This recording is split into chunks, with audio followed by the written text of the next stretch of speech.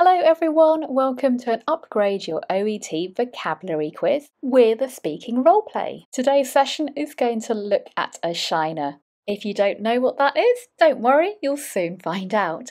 We're also going to look at some lay language that you can use with a patient or that a patient might use with you. We'll also look at some treatment advice from the NHS and it's important to do that because the advice from the NHS is given in lay language, so that will help you to achieve some of the key criteria in your OET. We'll also look at pronunciation and you'll get the role plays so you'll be able to practice with a friend or a colleague and we'll look at some useful language as well. As for me, my name's Sona and I'm a premium preparation provider of the OET. So, my questions for you then are these What is a shiner? And what treatment advice would you give to a patient who has one? Well, a shiner is actually a black eye, a contusion or bruise to the eye area. And this is something that I was really worried about this weekend because I was doing some gardening and I had a bit of a fight with a bamboo cane support. What happened was I was tugging at it and it just suddenly gave and it walloped me. It flew straight up and smacked me on the cheek. So, this is a very idiomatic way of me describing what happened to me this weekend. I'm a bit of a walking disaster. I think many of you have followed my ails and uh, medical complaints in these things. But these things happen, and I was really worried that I would have a black eye, and that, of course, I'd have to go to work and see my friends at the weekend and explain what happened. Luckily, I treated it quickly and I didn't end up with a black eye, but I was worried that I would, and this made me think it would be a great practice role play for you to look at as well. And also, as I was explaining this to you, I used quite a few idiomatic phrases, and these are some phrases that a patient may use with you. So, what do I mean exactly? Well, a bamboo cane is one of these things here. You can see it in this photograph, and it's used to support plants as they're growing. And this expression here, I had a bit of a fight with, is a typical way, a humorous way we can describe what happened. It wasn't an actual fight, but I was trying to pull this cane up. I was tugging at it and it just flew up and walloped me. It smacked me on the cheek. So to smack is to hit someone with the flat of your hand or a flat object. In this case, it was the cane, and the pronunciation here is smack. Tug means to pull someone or something by making a short, strong movement. So the cane was firmly stuck in the ground, so I had to pull it up with some force and the pronunciation here is tug. And it just gave. Suddenly, it became free. It wasn't stuck anymore. This took me as surprised and it walloped me. It hit someone or something very hard. It hit me. Sorry, that should be a two there. Ignore that O to hit someone or something very hard, and that means to wallop. So that's what happened to me. I was injured from a cane just by my own force. I didn't know how strong I was. I'm not very strong, by the way. That's why I was tugging at it so dramatically. So, what treatment advice would you give a patient then? As ever, just a quick reminder I'm not a healthcare professional myself. I'm an English teacher who's a premium preparation provider. So all my medical advice comes from the NHS or other reputable sources. I will put the link for this in the information box below so you can go away and have a look at it as well. So, a black eye, of course, is bruising and swelling around your eye and usually caused by a blow, a hit to the area, such as a punch or a fall in my case, a flying bamboo cane, and it should get better within two to three weeks. Luckily, I didn't have a black eye, but if I did one, how would I have eased it, or what treatment advice could you give a patient who's got a black eye? So, you would tell them to gently hold an ice pack or a bag of frozen peas wrapped in a cloth to the area around their eye for about 10 to 20 minutes at a time so at intervals, and to repeat this regularly over the first one to two days. You'd advise them to take painkillers, analgesics, and then after the first two days to apply a warm, not hot, compress around the eye quite regularly. You'd remind them not to take aspirin unless it's been prescribed to them because this might make the bruising worse and encourage them not to rub the area. It's quite tempting just to kind of keep pressing it to make sure it's okay and it still hurts, but I shouldn't be doing that. And of course, don't put any ice directly on the skin because it might burn the skin. Now, normally these incidents aren't serious, but if your patient has any severe pain or swelling or a headache that doesn't go away, or blurry vision, they can't see clearly, or perhaps the area around their eyes warm or leaking pus, they have a very high temperature or are feeling as if they do, or they're on blood thinning medication or have a bleeding disorder, then they should call their GP or the medical hotline for further advice. If it's something more serious, so if there's blood visible in their eye, or they have a pupil that's shaped irregularly, or perhaps the blow has actually occurred to both of their eyes across their head, or they're having serious problems with their vision, double vision when they're seeing two of everything, or they can't see, or are seeing flashing lights or halos, or having pain, then they should go to the emergency department, the accident and emergency. If they can't move their eye, similarly, you should direct them straight to the emergency department to get advice.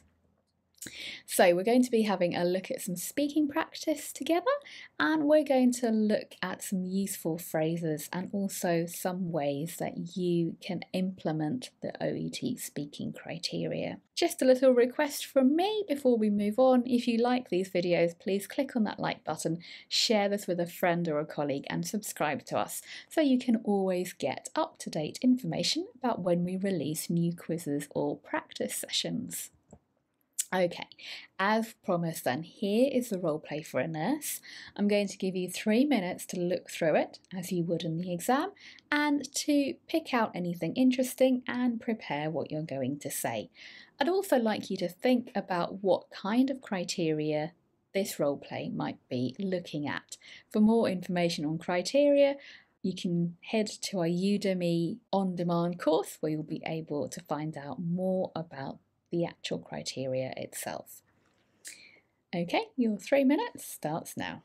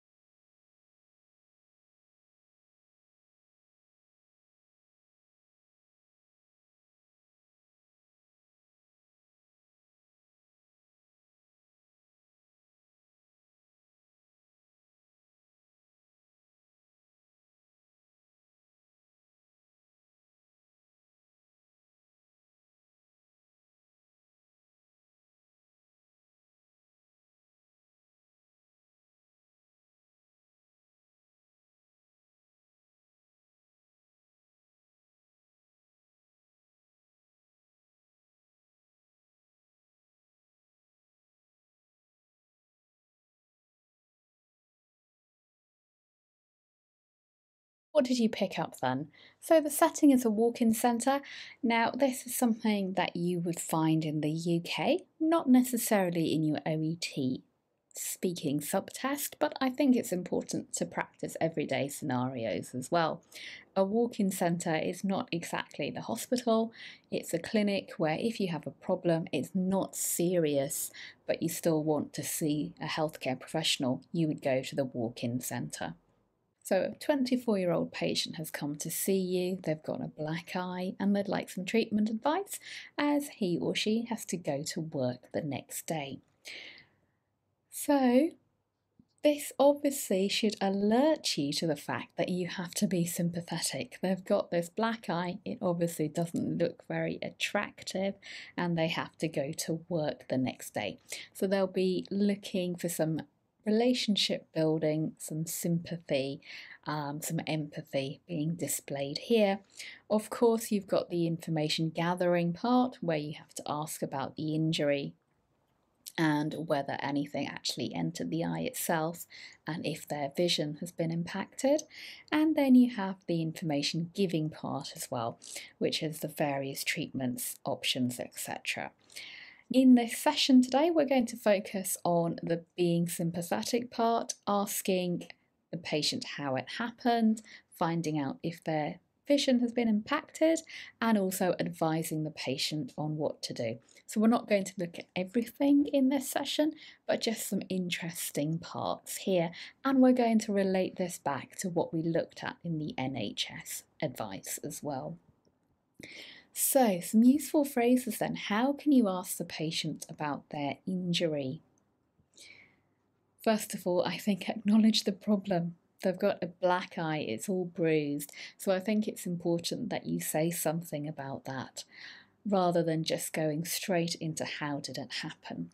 So set up that rapport at the beginning and start by saying something like, Oh dear, that doesn't look very comfortable.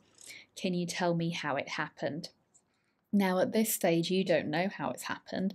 Perhaps this patient, for example, is the victim of domestic abuse, in which case you would have to follow a different pathway, but in this case, it's a gardening accident. So, can you tell me how it happened? Then, of course, you would find out whether anything entered the eye itself. So, and did anything enter the eye? For me, luckily, no. How then can you find out if their vision has been impacted? So, nothing actually entered the eye, but you still want to check, you want to make sure. Although you've got a lot of information here, remember part of information gathering is to ask simple questions that are easy to understand and that are not compound questions. So you're not asking more than one thing at the same time. So even though the role play might tell you to ask several different things, break it down. Are you able to see normally? So ask an open question. Then narrow it down. And can you see any blood in your eye at all? How about any kind of flashing lights or strange spots? So allow the patient to answer each question before moving on. Don't ask it all at the same time. And then again, for sympathy, well, that's good. So be encouraging. It means that it's just a superficial injury which should heal by itself. So we need lots of support here for the patient, lots of encouraging. So before moving on, give that little bit of encouragement to your patient. Now, again, how can you advise the patient that it takes a few days? That's not what they want to hear. They have to go to work. So, again, be encouraging. Well, you know, these things happen. Even though it may look dramatic, it's nothing terrible. These things happen. But at the same time, acknowledge their issue. I realise that it might be uncomfortable for you at work give them some suggestions. Are you able to take a couple of days off work until the bruising has settled down? So we've got a phrasal verb here, which means subsided or eased. Or perhaps you can explain to your boss what happened and see if you can be given some work away from the shop floor so that they don't have to explain to each customer that comes in what happened to them. So, again, being really sympathetic to your patient. Well, I hope you found that useful. Here's a patient card if you want to practice with a friend or a colleague. Just take a screenshot and see how you go. For more information about our on-demand courses, then take a look at the information box below. Thanks very much for watching. Why not watch another of our videos right now and see you next time. Take care. Bye bye.